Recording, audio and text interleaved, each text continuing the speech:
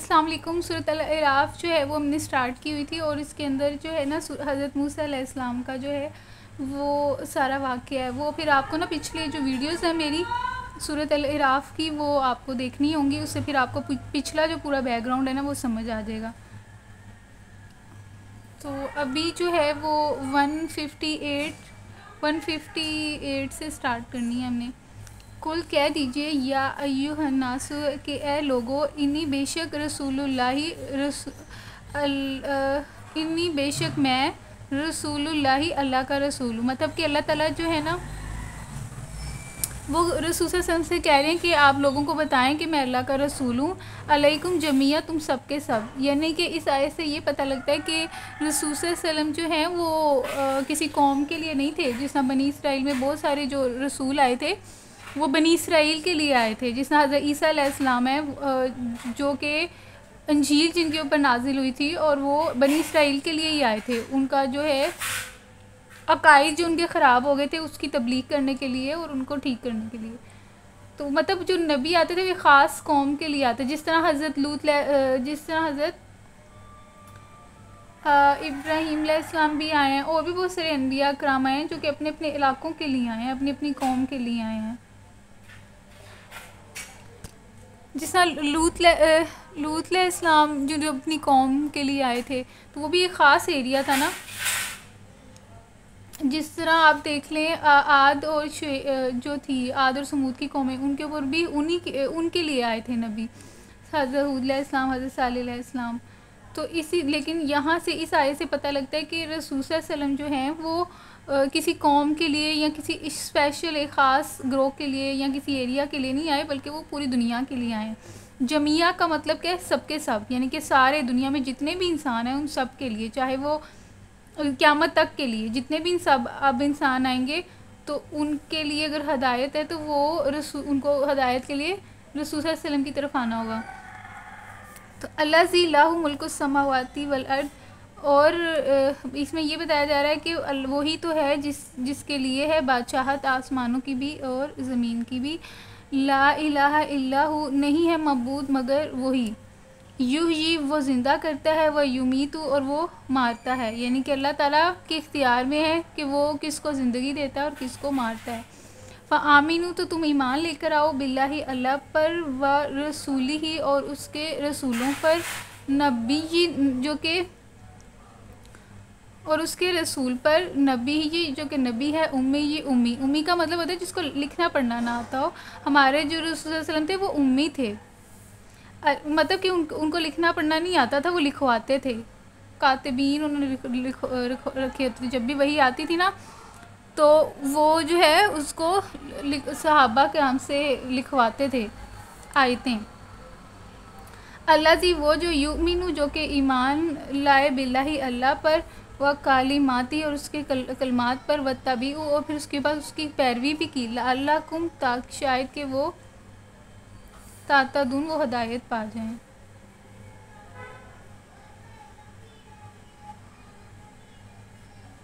तो इसकी जो है ना डिटेल वो हम यहाँ से देख लेते हैं। वन फिफ्टी एट है ना? यहाँ से इसका डिटेल पता लगेगा कि इस पैगंबर इस पैगंबर नबी उम्मी सल्लल्लाहु अलैहि वसल्लम की पैरवी इख्तियार करें, जिसका ज़िक्र नहीं, ये जो है, ये थोड़ी सी अगली आयत का है, वन फिफ्टी सेवन है ना?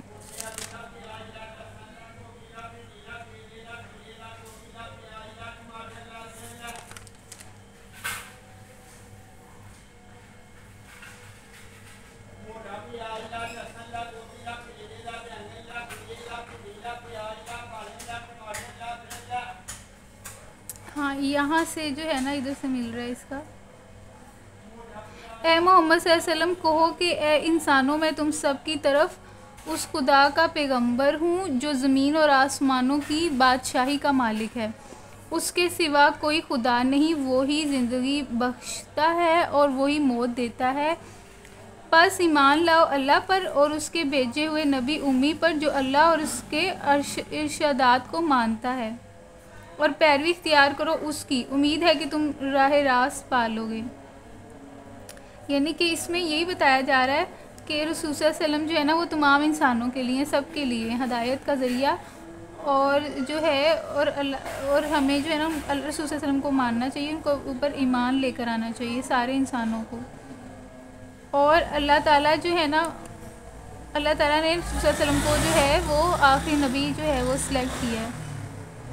और अल्लाह ताला जो है उन्हीं के पास ज़मीन और आसमान की बादशाहत है। और उसी खुदा ने रसूल को सिलेक्ट किया था एज़ आखिरी नबी, जो कि तमाम इंसानों के लिए हदायत हैं। हदायत हैं और ला इल्लल्लाहु और अल्लाह ताला क्या है? अल्लाह ताला वो है जिसके सिवा कोई मबूद नहीं, और वो ज़िंदा भी करता है और मारता भी है। तो अल्लाह ताला फरमा रहे हैं कि बस तुम ईमान लेकर आओ अल्लाह पर और उसके भेजे हुए नबी, यानी उम्मी वसल्लम पर। अल्लाह जी, वो जो वो जो और नबी उम्मी कौन है, वो हैं जो कि अल्लाह के ऊपर ईमान लेकर आते हैं और उसके कलमे के ऊपर भी, जो वही के ज़रिए से रसूल वसल्लम पर नाजिल होते थे। और सिर्फ़ उस पर ईमान नहीं लेकर आते थे, बल्कि रसूल वसल्लम ने हमें इम्प्लीमेंट भी, जो जो उनके ऊपर, आप, एक हदीस भी है ना, जिसमें लिखा हुआ है कि कि रसूल वसल्लम जो है वो चलता फिरता कुरान है। यानी कि रसूल वसल्लम ने अमल भी करके दिखाया। लाला कुम ताता दूँ ताकि तुम जो हो उससे हदायत पा सको।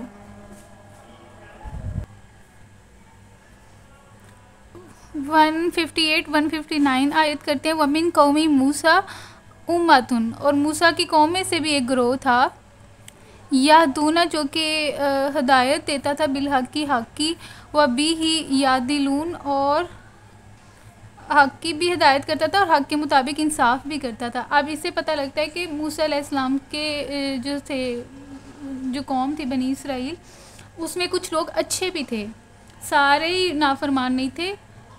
वो मोस्टली जो मेजोरिटी थी वो नाफरमान थी, लेकिन कुछ थे, कुछ चंद लोग ऐसे थे और ऐसे लोग रहते हैं दुनिया में जो कि हकीकत के अंदर किताब को जो है उसके ऊपर फॉलो करते हैं, उस पर अमल करते हैं। तो बनी से यानी कि मूसम की कौम में से भी एक ग्रोह ऐसा था जो कि हदायत के ऊपर था। और फैसले भी जो था ना, वो इंसाफ पसंद करता था। वह कता ना हूँ, और हमने जो है काट, कत्ता होता है काटने को अलहदा करने को अलग अलग करने को। काफ, तोए एन कत्ता, कित, कत्ता, कहते हैं ना, किता कता ताल्लुक करना मतलब किसी से अलहदा होना। ना का मतलब है हमने हुम उनको, हुम का मतलब बनी इसराइल को। तो मतलब कि अल्लाह ताला ने अलहदा अलहदा कर दिया इसना था उनके जो ग्रोह बनाए ना, कितने बनाए? इसना था अशरा अशरा कहते हैं दस को। इसना हो गया दो तो दस plus ten plus two, twelve. तो इसका मतलब ये कि बारह। तो कितने उनके ग्रोह बने? बारह। असबातन कबीले मतलब उनके जो ग्रोह या कबीले बने हैं, वो बारह बने थे। तो उनको जो है बारह ग्रोहों में, यानी बनी इसराइल को डिवाइड कर दिया। आई थिंक जो हज़रत यकूब इस्लाम थे, उनके जो थे बारह बेटे थे। तो वो फिर बारह कबीले बन गए होंगे ना। उमा उग्रोह व अवहैना फिर हमने वही की इला तरफ़ मूसा मूसा के। कब वही की? जब इस जब इस तस का हो, जब मांगा उससे, यानी कि मूसा अलैहिस्सलाम से सवाल किया। कौम उसकी कौम ने इन निध्रिब के तुम मारो बी असा का अपना असा। असा कहते हैं लाठी को। हजर हजर कहते हैं पत्थर पे, हाजरा पत्थर के ऊपर। तो मतलब कि जब मूसा की कौम ने कहा कि हमें पानी चाहिए, जब उन्होंने पानी का सवाल किया तो फिर मूसा इस्लाम ने अल्लाह की तरफ़ देखा तो अल्लाह ताला ने मूसा इस्लाम को वही की कि तुम जो हो, तुम्हारा जो असा है, तुम्हारी जो लाठी है, उसको पत्थर पे मारो। जब मूसा इस्लाम ने वो पत्थर पे मारी तो उसमें से ना चश पानी निकल आया। और कितने पानी निकल आए जिस तरह उनके ग्रोथ है ना बारह तो इसी लिहाज से बारह चश्मे निकल आए। अल्लाह ताला ने इनके ऊपर बड़ी नेमतें की हुई हैं। और ये असा, ये वही वाला असा है मूसा का जिससे वो बकरियाँ भी चराते थे। और ये वही वाला असा है जब हमने पीछे पढ़ा था, जिससे यही असा जो है वो सांप भी बन गया था, जब फ़िरौन ने, जब एक पूरी जो है तमाशा लगाया था उसने मैदान के अंदर, जहाँ पे मुकाबला हुआ था मूसा का और जादूगरों का। तो उसमें भी यही वाला असा था जो कि सांप बन गया था। इसी असा को जो है ना, हुक्म दिया था मूसा इस्लाम को, और इसी असा से जो है वो जो समुंदर था, वो डिवाइड हो गया था, और फिर रौन जो है डूब गया था, और मूसा इस्लाम जो है उस रास्ते से दूसरे किनारे पहुँच गए थे। तो वो जो समुंदर में जो रास्ता बना था, वो उसमें भी यही असा था। तो ये जो पूरी डिटेल है ये फिर आपको पिछले पूरे जो लेक्चर्स हैं ना वो पीछे पूरे सुने होंगे क्योंकि सूरत राव जो है ना वो सारी जो है वो मूसा इस्लाम के ऊपर है। तो वो पूरा बैकग्राउंड आपको समझना होगा उसके लिए फिर आपको ना शुरू से सूरत राफ का जहाँ से स्टार्ट हो रहा है ना इसी इसी चै, इसी चैनल पे मैंने वो स्टार्टिंग पे लगा दिया हुआ है। वो फिर आप सारा सुनेंगे तो आपको पीछे सारा बैकग्राउंड समझ आ जाएगा। तो जब उसके जब आपने मूसम को जब हुक्म दिया और वो जो था, पत्थर के ऊपर जब आसा मारा है तो बारह चश्मे उसमें से निकले हैं और इस नाता अशराता वही बारह आईना चश्मे निकले हैं। कद आलिमा कुल्लू कद आलिमा तो जान लिया, कुल्लू अनासिन। हर कबीले ने, हर ग्रोह ने मशरबा अपने पानी पीने की जगह को, मशरब कहते हैं पानी पीना। घाट जहाँ से पानी निकलता है। वहाँ पे अल्लाह वहाँ पे जो है ना, सबको पता लग गया कि हमारा कौन कौन सा चश्मा है। ताकि लड़ाई झगड़ा ही ना हो। वजल्लना और इसके अलावा फिर अल्लाह ने और क्या नेमत की कि वजल्लना और हमने जो है साया कर दिया अलहिम उनके ऊपर किन के ऊपर? बनी इसराइल के ऊपर। गमामा बादलों का, व अनजलना मतलब कि देखिए, अल्लाह ताला ने उनको धूप से बचाने के लिए भी बादलों का जो है साया कर दिया। और अनजलना और हमने उनके लिए, उनके ऊपर नाजिल किया हमने नाजिल किया, अलहिम, उनके ऊपर मन्ना व सलवा। मन और सलवा जो है ना, वो हमने उनके ऊपर नाजिल किया। मन और सलवा, ये खाना था उनका। बने बनाया, उनको खाना मिलता था। आई थिंक ये मन और सलवा, ये परिंदे थे और कुछ मेवे मेवे की तरह ये चीज़ें थी जो कि आसमान से आती थी और ये खाते थे। मतलब बैठे बैठाए इनको जो है, खुराक भी मिल रही थी। और धूप से हिफाजत, क्योंकि वो सहरा था, इतनी गर्मी थी वहाँ पे, उससे हिफाजत के लिए अल्लाह ताला ने बादल भी उनके ऊपर किया हुआ था। और पानी के लिए अल्लाह ताला ने बारह चश्मे भी निकाल दिए। मतलब खाना भी मिल रहा है, पानी भी मिल रहा है, और बादलों का साया भी है। मतलब हर चीज़ इनको बैठे बैठाए मिल रही है। कोई मुशक्क़त नहीं करनी पड़ रही। कूलू तो फिर अल्लाह ताला ने कहा कि कूलू खाओ मैं तयी बात इस पकीज़ा रिस्क में से माँ रजक ना हूँ जो कि हमने तुम्हें रिस्क दिया है। वमा ज़ालमुना और तुम ना जुल्म, वमा ज़ालमुना और तुम जुल्म ना करना। वमा ज़ालमुना और नहीं हम जो है जुल्म करते, वलाकिन लेकिन कानू थे वो, अनफूसा अपनी जानों पे याजलिमिन वो जुल्म करने वाले। ये अपनी जानों पे जुल्म खुद ही करते हैं ना, हम लोग खुद ही करते हैं, अल्लाह ताला तो नहीं करते, हम अब हम जो है, गलत डिसीज़न लेते हैं, गलत फैसले लेते हैं तो वो फिर उसी के हमें अंजाम जो है, वो भुगतने पड़ते हैं। और ये जो है, यहूदी बनी इसराइल, इनको मन और सलवा देखें, खाने को हर चीज़ मिल रही है, बादल भी मिल रहे हैं और पानी भी बैठे बैठाए मिल रहा है, लेकिन इन्होंने हमने हमने पीछे सूरत बकरा में भी पढ़ा था कि इन्होंने क्या कि हम मूसम को कहा कि हम थक गए हैं मन और सलवा खा खा के तो तुम अपने खुदा से दुआ करो कि हमें ज़मीनी चीज़ें दी जाएँ। ये सूरत बकरा में पूरा हमने पढ़ा था। तो देख लें मतलब इनको रास नहीं आई इज़्ज़त और बैठे बैठाए जो चीज़ मिल रही थी वो, उसके ऊपर भी नाशुक्री की। एक तो उन्होंने कदर नहीं की, दूसरा ये कि नाशुक्री की और तीसरा ये कि उन्होंने वो वाली चीज़ें मांगी जिनके ऊपर मुशक्क़त होती है। मतलब ज़मीनी चीज़ों के लिए सबसे पहले जो है ज़मीन को खाद डालनी होती है, उसको नरम करना होता है, फिर उसके अंदर बीज डालना होता है और बीज के बाद उसकी पूरी एक प्रॉपर केयर है, पूरा एक प्रोसीजर एक तरीक़ेकार है। मतलब आप पूरा उसे काश्तकारी करते हैं, फिर जाके वो इतने महीनों बाद वो एक फ़सल तैयार होती है, फिर आप उसको काटते हैं और फिर उसके बाद वो चीज़ आपको, आपकी प्लेट पे मिलती है। मतलब इतनी मुशक्क़त वाली चीज़ें उनको पसंद थी। मनो सलवा की जगह उन्होंने कहा कि हमें वो चीज़ें चाहिए। तो तब अल्लाह ताला ने कहा कि, ठीक है, तुम वो ज़मीन है, उसको जाके, फ़लस्तीन में तब थे लोग। तो अल्लाह ताला ने कहा था कि वहाँ जाओ और वहाँ पे जो है उनसे जंग करो और वहाँ पे जो है वो तुम्हें वो सारी चीज़ें मिल जाएँगी। आई थिंक अरीहा जैरी को फ़लस्तीन वाली ज़मीन का एरिया ही था। वहाँ पे बड़ी मज़बूत कौम रहती थी, लेकिन वो काफिर कौम थी। तो फिर वो हमने पीछे भी पढ़ा हुआ है, उसमें भी इन्होंने जो है नाफरमानियाँ की हैं। इसमें भी उन्होंने कहा कि मूसा तुम और तुम्हारा खुदा जाके लड़े, हम तो नहीं लड़ेंगे उस कौम से। वो जो कौम थी वो बहुत ज़्यादा वो थी बड़े बड़े जिसामत वाली थी और बड़ी ताकतवर कौम थी। तो बाद में जो है, इनकी ये चालीस सज़ा के तौर पर फिर अल्लाह ताला ने इनको सहरा में चालीस साल तक रखा था बनी इसराइल को। फिर इनकी जो अगली नस्ल आई थी ना, वो क्योंकि आज़ाद माहौल में जो है उसकी परवरिश हुई थी। ये वाले जो थे, ये फ़िरौन के पास जो रहते गुलामी के अंदर तो उनके दिमाग भी जो थे ना, वो गुलामी टाइप बन गए थे। इसलिए उनके पास हिम्मत नहीं थी। वो जो अगली नस्ल है, उसने फिर जो है ना, वो शहर फ़लस्तीन का जो है, वो एरिया फ़तह किया और फिर वहाँ पे जो है लेकिन उसमें भी उन्होंने नाफरमानी की। अल्लाह ताला ने कहा था कि जब तुम जाओगे, जब तुम्हें फ़तह मिलेगी तो तुमने अल्लाह का शुक्र करते हुए झुक कर और आजजी के साथ जाना है, दाखिल होना है उस शहर में। और अल्लाह की बख्शिश मांगनी है, लेकिन उस पर भी उस, उन्होंने ना गरूर तकबर किया और बख्शिश नहीं मांगी, गंदुम गंदुम गंदुम गंदुम अल्लाह ताला ने कहा था, हित्ता तो आई थिंक वर्ड था। अल्लाह ने कहा था, बख्शिश मांगनी है। लेकिन उन्होंने उस बख्शिश के वर्ड को चेंज करके कहा, गंदुम गंदुम। मतलब इस तरीके से अल्लाह की जो है ना, उन्होंने मतलब हर चीज़ के ऊपर उन्होंने जो है ना फरमानी किया, बनी इसराइल वालों ने। शुक्र नहीं किया, अल्लाह ताला ने इनके ऊपर बहुत सारी चीज़ें इनको दी हैं, बैठे बैठाए, और इसके अलावा किताब भी दी, हदायत भी इनको दी, हर मौज से कितने ज़्यादा इनको दी हैं।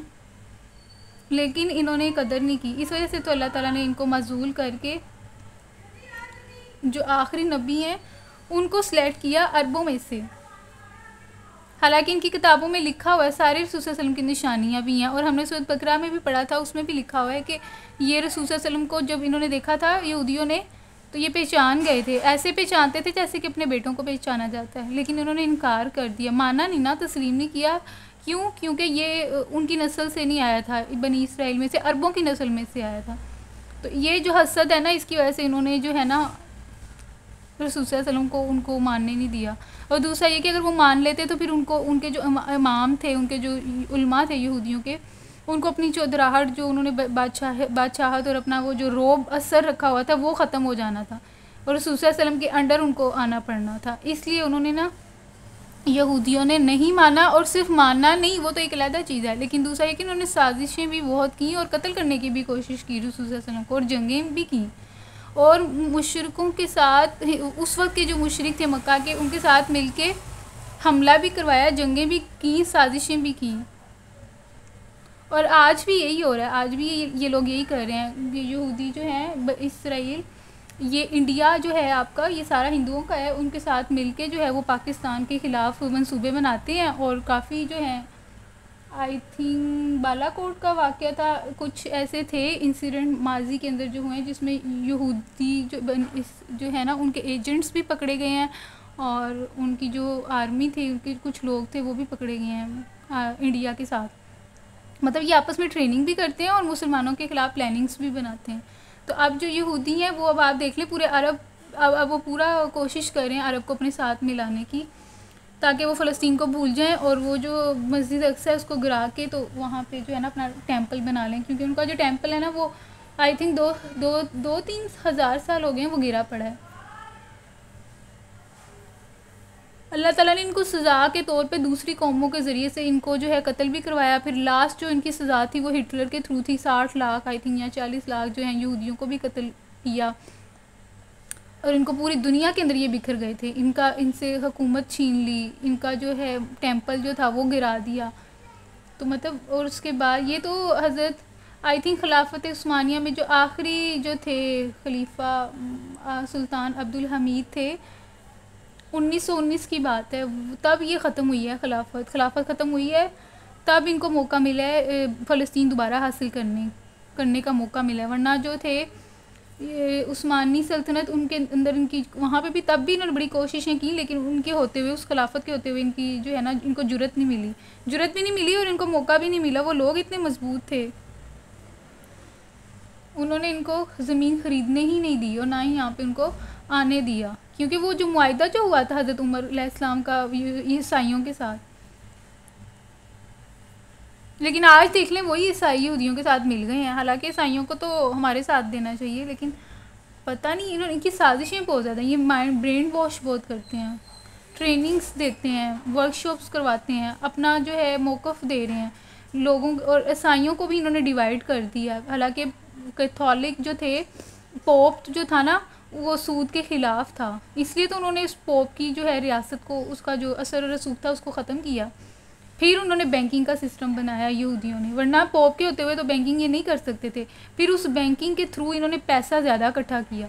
और वहाँ से पैसा इकट्ठा करके इन्होंने यहूदियों ने कारोबार शुरू किए। कारोबार से इतना ज़्यादा पैसा इकट्ठा किया कि मतलब सारी दौलत इन्हीं के पास है। अब उसी दौलत के थ्रू ये जो है ना क्या कहते हैं हुकूमतों के ऊपर हकूम जो बहुत पूरे मुल्क के अंदर जितनी भी आपकी हुकूमतें चल रही हैं उन, उनके सियासतदानों को ख़रीदते हैं। और अपना जो है कानून लेकर आते हैं। तो मतलब ये पैसे के ज़रिए से पूरी दुनिया के ऊपर, और हमारे हुक्मरान हैं, वो बिकते हैं। और सिर्फ़ इन्होंने हमारी हुकूमत को नहीं बल्कि करे, बल्कि उसी पैसे को, उसी पैसे के ज़रिए से ये जो हैं, ये सिर्फ़ सियासतदानों को नहीं ख़रीद रहे, इसी सियासत के ज़रिए से, ओ, पैसे के ज़रिए से यहूदी जो हैं, वो आपका मीडिया को प्रमोट करें। मीडिया के ऊपर हमारे पाकिस्तान में भी देख लें, टैक्सेस उनके ऊपर लगे ही नहीं, मीडिया हालाँकि इतना ज़्यादा कमाता है। जिन चीज़ों पे टैक्स लगने चाहिए, उन पर लगे नहीं है, जिन पर लगाने चाहिए उस पर लगता ही नहीं है। तो मीडिया के ऊपर इसलिए प्रमोट किया जा रहा है ना, क्योंकि वहाँ पर बेहयाई है। उसके ज़रिए से क्या होगा, बेहयाई के ज़रिए से सिर्फ़ बेहयाई नहीं है, उसके अंदर वो ब्रांड्स भी अपना प्रमोट करते हैं, कपड़े पहनने का तरीका बताते हैं आपको, उठने, बैठने का और मेल जोल का। आपको क्लासेस भी बताते हैं कि आपने किस तरह रहना है और कौन सी आपकी क्लास होगी। तो वो जो चीज़ें ना, वो यूथ जो हमारी नौजवान नस्ल है, उनके दिमागों में वो बैठ जाती है। एक मीडिया के ऊपर वो इन्वेस्ट कर रहे हैं, दूसरे हमारे एजुकेशन के ऊपर। एजुकेशन के अंदर से हमारे इस्लामिक जो चीज़ें हैं हिस्ट्री है अरेबिक है, हमारे जो हीरो हैं, हमारे हमारे जो हीरो ने हमारे काम, हम इस्लामिक हीरोज़ ने जो हमारे काम किए हैं, जैसे सुल्तान सलाउद्दीन अयूबी हैं, हज़रत मोहम्मद वसल्लम हैं मतलब सीरतुलनबी हर चीज़, खिलाफत राशदा ये सारे सब्जेक्ट्स हैं तारीख़ इस्लाम है। ये इन्होंने निकाल दिए हैं हमारे निसाब में से। इससे ये होगा और अपने अपने उन्होंने इंग्लिश के निसाब डाल दिए हैं। इंग्लिश को जो है ना वो बहुत ज़्यादा दे दिया है कि यही सारा कुछ है। इंग्लिश आती है तो आप जहीन है, इंग्लिश नहीं आती तो आप ज़ीरो हैं। तो इस इसके इस ज़रिए और आपको आप और सिर्फ़ किताब में रट्टा लगाई लगाई लगाया रह जाए ताकि रट्टे रट्टा लगाई जाए और आखिर में कुछ भी ना मिले। स्किल्स भी नहीं है, सिर्फ़ रट्टा ही है सारा। तो इससे ये होगा और अपना उनका निज़ाम आप देख लें किस तरीके से वो छोटे से दस साल का बच्चा नहीं होता वो पूरा ट्रेन होता है। वो आर्मी भी जानता है उनका बच्चा मतलब अपना डिफेंड करना भी जानता है और वो बिजनेसमैन भी है और उसके पास इल, इलम भी है। तो मतलब अपनी बच्चों की ट्रेनिंग ऐसे हो रही है और हम मुसलमानों को वो इस तरीके से एक्सप्लॉइट कर रहे हैं पैसे दे के। पैसा इकट्ठा किया अमीर हुए हैं और फिर उसके बाद वो उस पैसे से ना इन्वेस्ट कर रहे हैं और लोगों को ख़रीद रहे हैं। और ख़रीद भी रहे हैं और हमारा कल्चर जो है वो भी चेंज कर रहे हैं। कल्चर चेंज कर रहे हैं मीडिया के थ्रू और सियासत, हमारी पॉलिटिक्स चेंज कर रहे हैं उससे सियासतदानों के ज़रिए से। और निज़ाम अपना वो लेकर आ रहे हैं, वो और ये किस तरीके से कर रहे हैं, वो निज़ाम के ज़रिए से। वो निज़ाम है कैपिटलिज़म सरमायाकारी का। सरमायाकारी में ये होता है कि वो बिज़नेस आप ज़्यादा से ज़्यादा ओपन कर सकते हैं और ज़्यादा पैसा कमा सकते हैं। तो वो जो पैसा आप इकट्ठा करेंगे, उसके ज़रिए से आप जो है सियासतदानों को भी ख़रीद सकते हैं। जो भी चाहे हम आ, आ, अच्छे लीडर भी सिलेक्ट कर लें लेकिन वो जो है ना उसके अंदर धांधली करवा के तो उस अच्छे लीडर को ऊपर नहीं आने देंगे। क्योंकि उनके पास सरमायाकार वालों के पास पैसा है ना तो वो जो पार्लियामेंट में बैठेंगे वो सरमायाकार ही बैठेंगे। तो आपकी जो आवाज़ है वो नहीं पहुंचेगी पार्लियामेंट में। तो मतलब सरमायाकारी ने ही जो है वो जमहूरीत का निज़ाम जो है ना वो करवाया है। उस क्योंकि सरमायाकार को जमहूरीत के निज़ाम के अंदर अपना फ़ायदा नज़र आता है। वो जो वोट होते हैं ना, उनको वो ख़रीद लेते हैं और अपनी मर्ज़ी का वो सियासतदान ले आते हैं या ख़ुद बैठ जाते हैं। तो मतलब इस वजह से ये जो निज़ाम है ना, सरमायाकारी और उस सरमाकारी ने ही, यहूदियों ने सरमाकारी और सरमाकारी के ज़रिए से जो है डेमोक्रेसी जो जमहूरीत है, उसको, ये उसी की सरमाकारी को बचाने के लिए निज़ाम है। और यही निज़ाम आपके आधे, आई थिंक पूरी दुनिया के आधे मुल्कों में तो यही है। और दु, आधे दूसरे जो मुल्क हैं उसमें कम्युनिज़म और सोशलिज़म है तो उसमें वो डिक्टेटरशिप आ जाती है। तो इस तरीके से ना पूरा वो दुनिया पे जो है आपके वो है नाइंसाफ़ी है। क्योंकि सरमायाकार मोस्टली जो है वो ऐश जब ज़्यादा पैसा आ जाता है वो ऐश इशरत के अंदर चले जाते हैं। कोई कोई होता है जो कि अपनी औकात के अंदर रहता है। फिर मोस्टली जो है वो आपके लेबर तबका आ जाएगा। वो वो जो लेबर तबका है, मज़दूर तब, तबका, वो कितना कि वो तो सारा दिन ही अपना मेहनत करता रहता है और फिर भी उसका जो है गुजारा नहीं होता। तो वो फिर एक क्लास बन जाती है रिच क्लास और पुअर क्लास तो वो जो पुअर क्लास है, वो ज़ाहिर बात है, फिर वो रिच को देख के क्राइम करेंगे। नाइंसाफ़ी होगी। तो आपके पूरी दुनिया में यही चीज़ चल रही है। और अगर आप देख लें तो ऐसे ये पूरा निज़ाम ही ऐसा चल रहा है। अब इस्लामिक सिस्टम है, उसके लिए अफ़गानिस्तानियों ने जो है कोशिश की है, बीस साल उन्होंने जो है कुर्बानियाँ दी हैं। तो वो लोग सही हैं। देखिए, अल्लाह ताला ने उनकी मदद भी की है। वो जो सुपर पावर अमेरिका, जिसके पास इतनी ज़्यादा हाई फाई टेक्नोलॉजी है, वो भी जो है अफ़गानिस्तान के सामने झुक गया है। क्यों? अफ़गानियों का ईमान इतना स्ट्रॉन्ग है। उनको टाइम लगेगा, क्योंकि भी पूरा तरीके से इम्प्लीमेंट करना बहुत आसान नहीं है, मुश्किल है। लेकिन वो जो है, हमें चाहिए कि हम अफ़गानियों का साथ दें। क्योंकि वो जो है ना, वो कोशिश कर रहे हैं इस्लामिक सिस्टम को कायम करने के लिए और उसके लिए उन्होंने अपनी जानें भी दी हैं, कुर्बानियाँ भी दी हैं। वो उनके चेहरों से आपको पता लग जाता है। रोब है उनके चेहरों पे। असूल पसंद है और जंगजू कौम है। और ऐसे ही लोगों के थ्रू जो है ना अल्लाह ताला काम लेते हैं।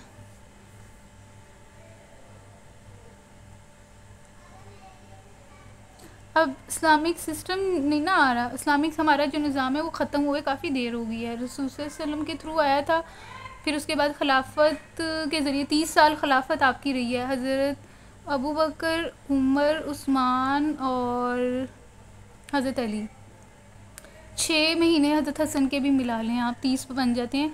उसके बाद फिर हज़रत माविया का दौर स्टार्ट हुआ और वो जो दौर था हज़रत माविया का, वो फिर खिलाफत नहीं थी, वो मलिक, बादशाहत आ जाती है। बादशाहत का सिस्टम चल पड़ा ना, लेकिन वो भी अच्छा सिस्टम था। कम अज़ कम इतनी नाइंसाफ़ियाँ तो नहीं थी जितनी आज हैं।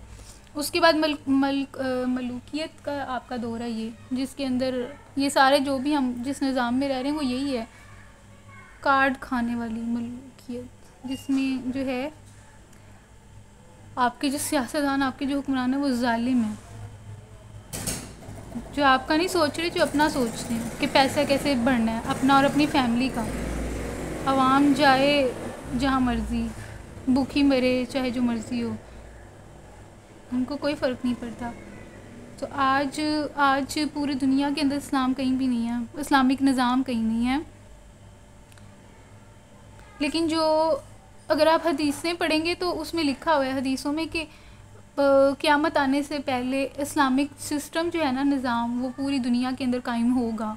वो वो जब कायम होगा, उसके बाद क़्यामत आएगी। तो वो अल्लाह ताला ने पूरी दुनिया के अंदर जो है, वो इस्लामिक सिस्टम ले ही आना है अल्लाह ताला ने। तो हम लोग ये कर सकते हैं कि कोशिश कर सकते हैं उसके, उस सिस्टम को आने तक, वो तो अल्लाह को पता है कब आएगा, लेकिन उसके अन उसका पार्ट हम बन सकते हैं अपनी लाइफ जो है, उसको थोड़ा बहुत हम जो है निकाल सकते हैं। एक ऐसी जमात के साथ जो कि इस इस्लामिक सिस्टम को कायम करने में कोशिश कर रही हो तो वो ज्वाइन करके हम जो है कफ़ारा अदा कर सकते हैं। कायम होना, ना होना वो लहदा चीज़ है, लेकिन हम एटलीस्ट अपनी कोशिश कर सकते हैं।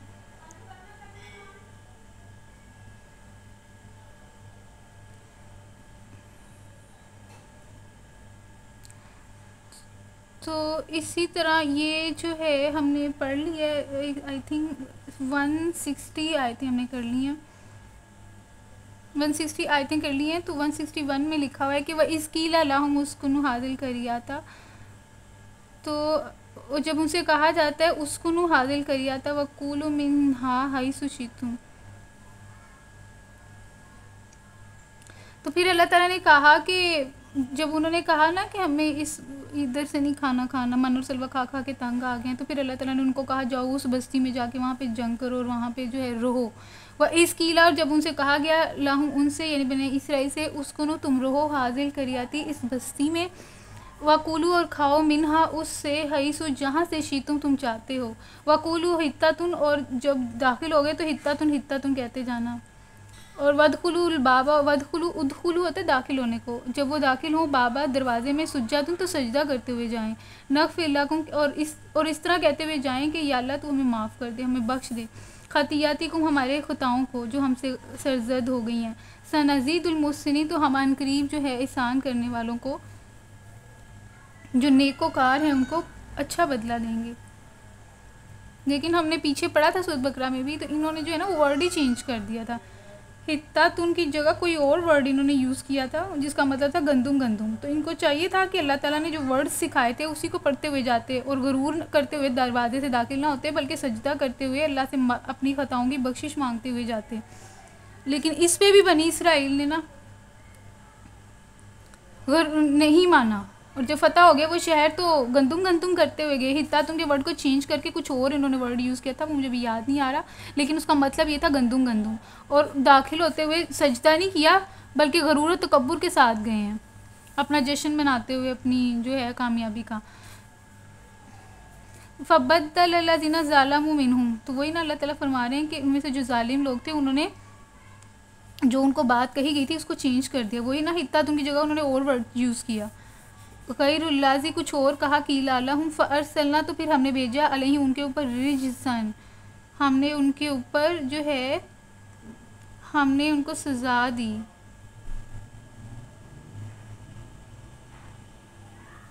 मिन्नत समाई आसमान से, बीमा कानू यजलीमून उस वजह से जो वो जुल्म करते थे। तो ये देखा ना, यहाँ पे भी अच्छा लिखा हुआ है, कि याद करो, वो वक्त जब उनसे कहा गया था कि इस बस्ती में जाकर बस जाओ। उसकी पैदावार से अपने हसब मंशा रोज़ी हासिल करो और हिता तुम हिता तुम कहते जाओ। शहर के दरवाजे में सजदा रेज होते हुए दाखिल हो। हम तुम्हारी खताएँ माफ़ करेंगे और नेक रवैया रखने वालों को मज़ीद फजल से नवाजेंगे। मगर जो लोग इनमें से ालिम थे, उन्होंने इस बात को जो उनसे कही गई थी बदल डाला और नतीजा ये हुआ कि हमने उनके जुल्म की पदाश में उन पर आसमान से अजाब भेज दिया। ये वन सिक्सटी टू जो है ना हमारा हमारी आयतें होगी इन नेक्स्ट जो है ना आयत आयत से हम पढ़ेंगे अगला वाक़ और वो जो वाक़ ना वो हफ़्ते वाले दिन का है, जिसमें इनको बंदर बना दिया गया था बनी इसराइल को, वो फिर ये पूरा डिटेल है, वो फिर हम नेक्स्ट लेक्चर में देखेंगे। Thank you.